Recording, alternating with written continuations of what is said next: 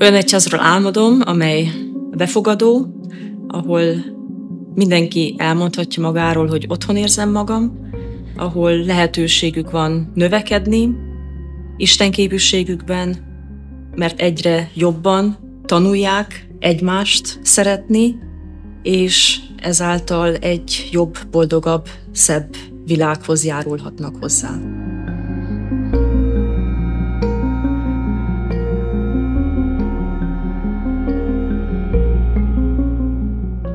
Az együtthaladásnak a témája az, ami foglalkoztatja Ferenc pápát. A romániai látogatása során ugye az volt a motto, hogy járjunk együtt. Én azt akkor úgy fordítottam, hogy haladjunk együtt. És tudjuk a romániai katolikusság jelenéről, valóságáról, hogy az nem egy homogén valóság.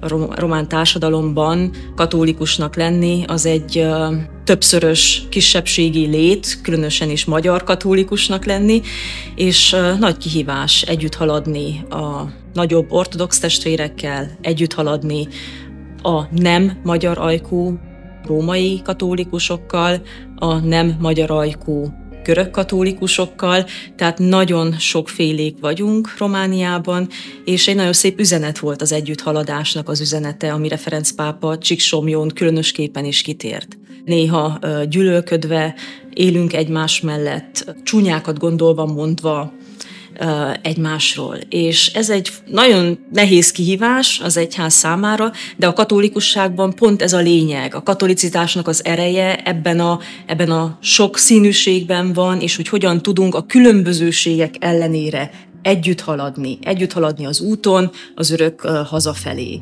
És úgy gondolom, hogy itt kezdődik igazán a, az együtthaladásnak a, a szép, csodálatos útja, hogy odafigyelünk egymásra, nem akarjuk egymásnak a vallásosságát megkérdőjelezni, hanem elmeséljük egymásnak azt, hogy hogyan élünk. Mi fáj, milyen örömeink vannak, és próbáljuk megérteni egymást. És én hiszem azt, hogy ebben az együtthaladásban valami olyan csodálatos dolog fog születni az Európai Egyház számára, a különböző helyi egyházak számára, amire nem is nem ismerünk még a legmerészebb egyház álmainkban sem gondolni. Első lépésben próbáljunk a jelen helyzetünkre odafigyelni, személyként, akár közösségként. Kik azok, akik hozzánk tartoznak? Kikkel érezzük jól magunkat? Egy második lépésben nézzük meg azt, hogy kikről nem akarunk hallani, kik azok, akik irritálnak bennünket. Beszélgessünk erről. És egy harmadik lépésben lépjünk ki, ahogy Ferenc pápa olyan gyakran javasolja, lépjünk ki a saját kis kényelmünkből, és hívjuk meg azokat, akik irritálnak, akik nincsenek jelen, akik bármilyen okból kifolyólag ki vannak rekesztve. És kezdjünk el egy párbeszédet. Kezdjük el az együtthaladás útját.